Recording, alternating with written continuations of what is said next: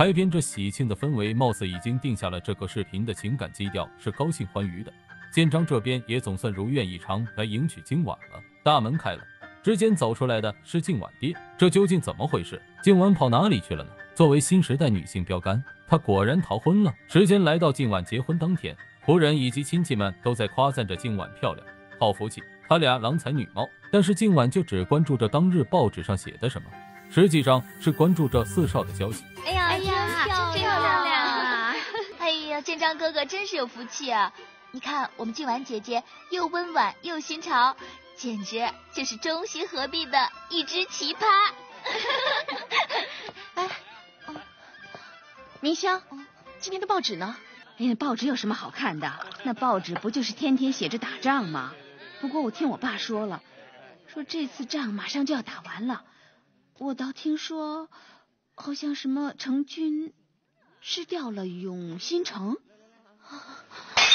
哎哎，小姐姐姐，你怎么了？姐姐姐姐，怎么？手上裂了。哎呦，小姐，你你怎么跑到这儿来了？今天的报纸呢？哦，这不在书底下压着呢。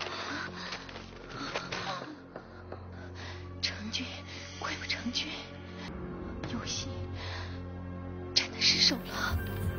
今晚看到消息后，只想一个人静静，真诚地面对着镜子，回想曾经与四少的点点滴滴，也想起了昨天信之送静晚回来的路上所说的一番话。人生就像小径分叉的花园，有的时候一步的选择就会注定后面所有的路。你要想清楚。如今我心里透亮透亮的，特别清醒，我知道自己想要是什么。只要你不后悔，那我就放心了。将来会不会后悔，我不知道。不过现在我很清楚，佩林的世界是一个我从来都没有想过的世界，那有凡人仰望的奇光琉璃，咄咄逼人，熠熠生辉。它彻底搅乱了我的心。在想明白自己究竟想要什么之后，今晚鬼使神差的就取下了头饰，迅速的换好了衣服，逃出了自己的家，逃出了这个束缚自己的婚姻，奔向了自己的心心念念的四少。玉联盟啊，这很难听到。哎呀，今天来的客人是真的，可不是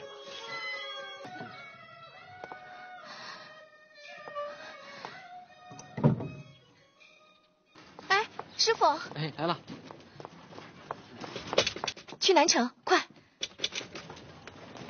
程先生，我想去找四少。殷小姐能有这样的勇气，心之佩服。但是现在两军战事激烈，交通断绝，你不能去冒这个险。马上就要关城门了，如果我今天不走，恐怕这辈子就没有别的机会了。请你帮帮我。今晚是逃婚跑了，不知情的建章和迎亲队伍前去接亲，于是也就有了开头的一幕。这下建章心如死灰，直接都不给静婉爹留任何颜面，撒手而去。老爷，许少爷敲了很久的门了。哎呦，尹老爷、尹太太，你们家可真是……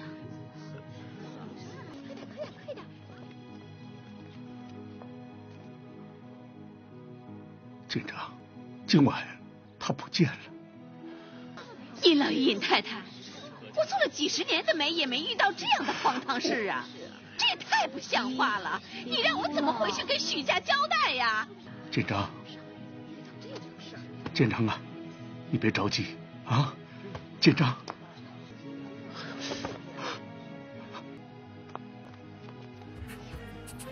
今晚这边在信之的帮助下，走上了奔向四少的道路。你这一走，可就再也回不到过去了。我知道，现在正是佩林最危险的时候。其实我心里真的没有多想什么，我只知道永新失手了，程州危在旦夕，在他最困难的时候，我一定要陪着他，不然我会后悔一辈子的。你怕吗？说不害怕是假的，不过我心里更多的是期待，还有欣喜，好像心里那块大石头终于落地了。